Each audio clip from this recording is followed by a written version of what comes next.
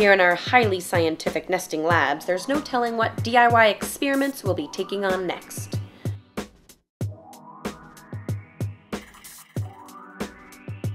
Science. Science. This week we'll be dissecting an old lampshade and converting it into a new lace lampshade. I hypothesize that this will be a successful aesthetic equation. Find an old lampshade that could use a little revamp. Pick out a sharp object, like an X-Acto knife, locate its seam, and carefully begin to disassemble it. And use your tool and hands to pull back your lampshade seam. Cut down the side seam of your shade. Use your scissors, your hands, and your patience to successfully remove both top and bottom metal circles.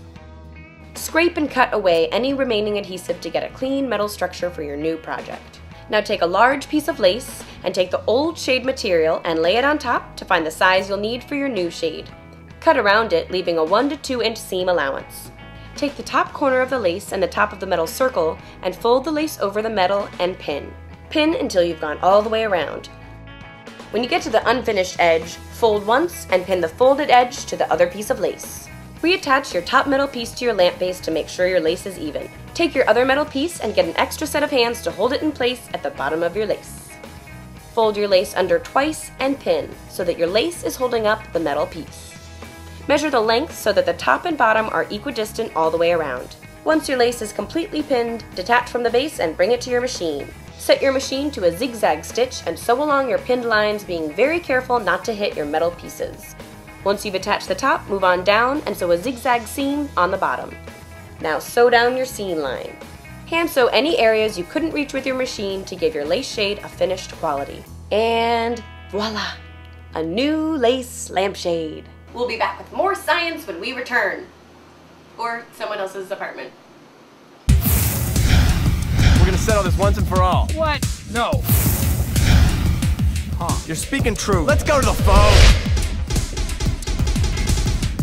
It's garbage. It's entertaining. Oh, thanks. Here we are in another New York nest at Arlie Bordes's, the tidiest bachelor. Arlie has a lot of aesthetic vision and a really great grasp of color.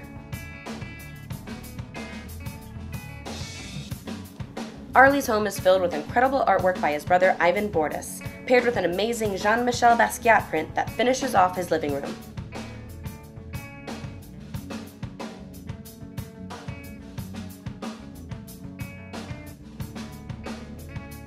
He has some interesting artifacts and some really pretty things.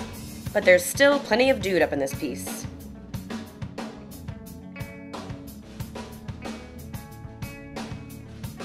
As the tidiest bachelor, Arlie's apartment is immaculate. Spotless. I would literally eat off his floor, if only there'd been a snack handy. I wonder what he does when he's alone.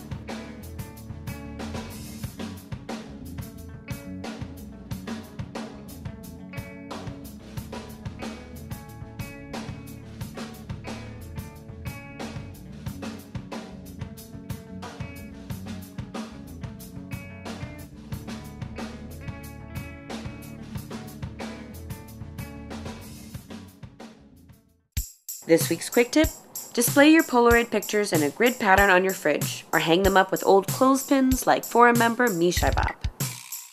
Thanks for joining us in the lab. And until next week. Remember, your nest needs you.